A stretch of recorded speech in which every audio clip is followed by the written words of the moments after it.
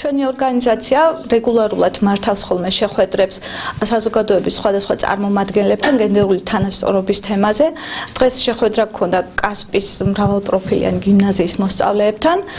შეხვედრის თემა გენდერული თანასწორობა და ნაადრევი ქორწინება იყო და რა კავშირია ამ ნეურ საკითხს შორის, რამდენად პრობლემურია ის ჩვენს ქვეყანაში კანონმდებლობაში, რა ხარვეზები გვაქვს, რა ვითარება ამ ხრივ ჩვენს ქვეყანაში და ასე შემდეგ.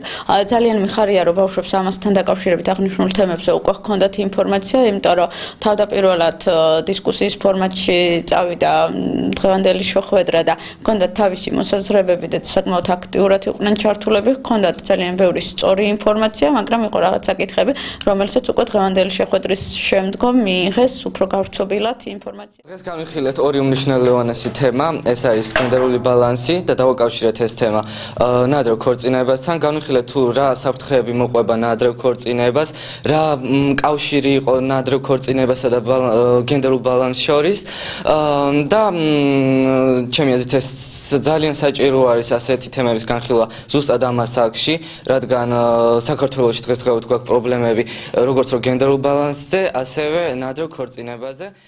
შეხვედრა მიმდინარეობდა სკოლა გიმნაზიაში ნადრევ ქორწინებასა და გენდერულ ბალანსთან დაკავშირებით.